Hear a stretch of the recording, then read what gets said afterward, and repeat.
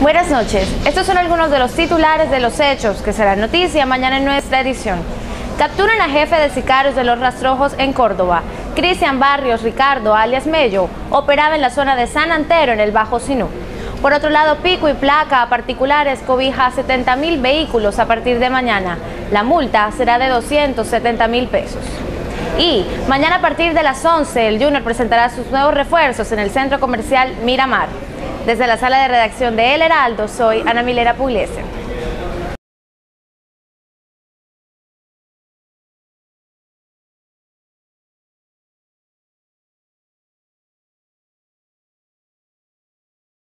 Vuestros personajes a mí nada han declarado.